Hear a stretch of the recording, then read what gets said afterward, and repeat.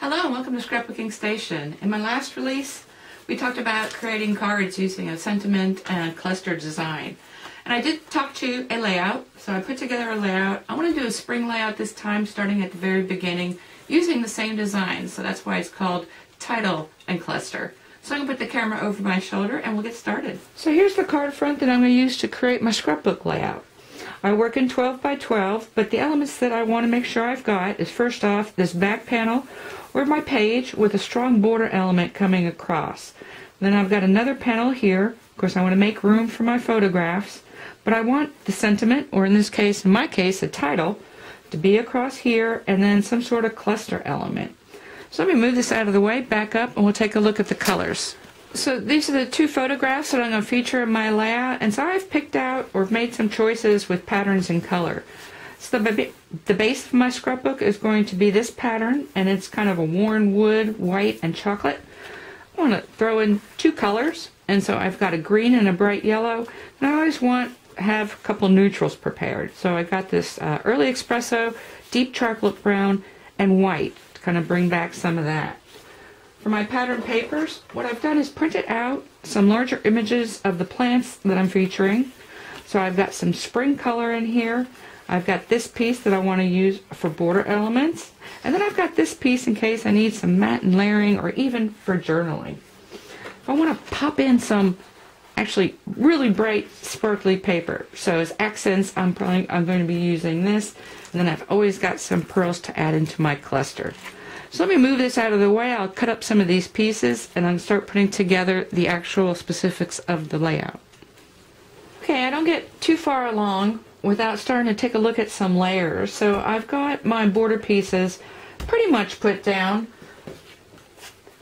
Across here, again, I'm going to have this photo that's going to come like this. And then I've got that top panel that's going to go like this. Now, before I put, like I said, put too much down, I think what I'm going to do is leave this like this. And I've got the mat for that centerpiece.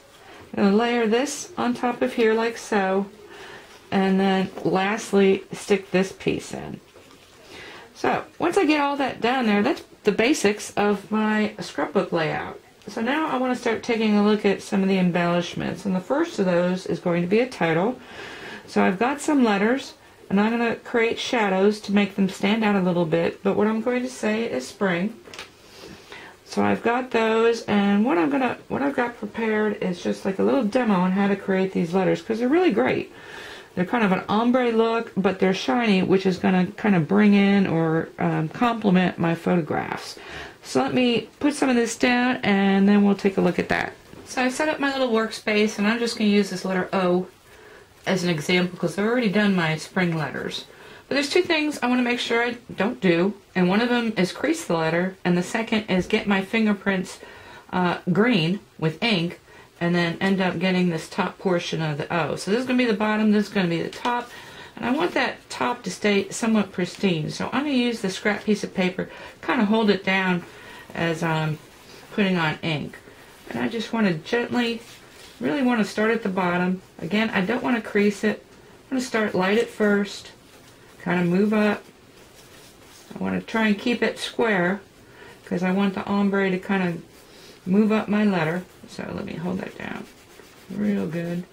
And I'm going to go a little bit at a time, bring up some ink, go a little bit further, go a little bit further, always starting at the bottom and moving up.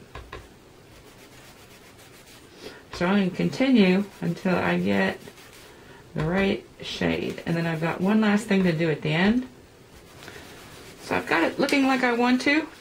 And the last thing I want to do is come up both sides this way because I want to try and get rid of any horizontal lines on the letter. You gotta really hold it down. The other thing is this cardstock, the, the color of the cardstock I used is a shade lighter than the ink I'm using. And that's just to make the effect a little bit more pronounced. Okay, now I'm ready to clear emboss. So I've got my Versamark ink pad and I'm just going to turn this upside down. I want to make sure I get a really good coat of Versamark. I just do it this way so I don't get any Versamark on my uh, craft paper there.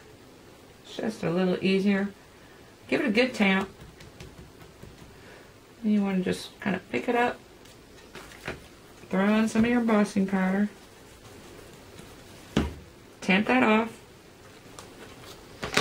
Okay, I just had to run and go get my tweezers because now I want to pick it up. I really don't want to pat it too much because I want a nice thick layer. And I've got it on this piece of paper. I'm going to turn on my heat gun. And that's so it's nice and hot when I put it on against the letter or over the letter. And that's just so it doesn't warp as much. Nice little tip and trick. That if you make sure that your heat gun is really heated, you're not going to have it uh, curve so much. I made like a little pocket to hold it into.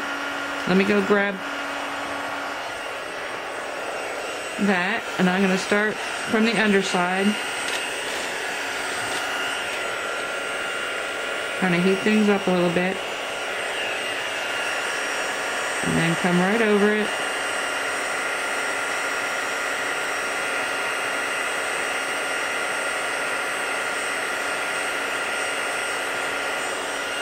Okay, and that's all there is to it.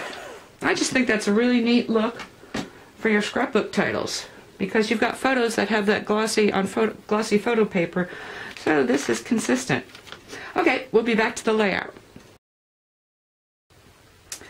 Once the title is finished, of course I'm putting it down and the other thing I want to do is kind of leave this open because I want to layer this up. Kind of unusual in that my embellishments are these flower stacks and I'm keeping them simple shaped and simple colors because this layout is so busy. Of course, you can get your photos in. I've got an area here for my journaling. So I've stacked a couple of these up and all I'm going to do is kind of position.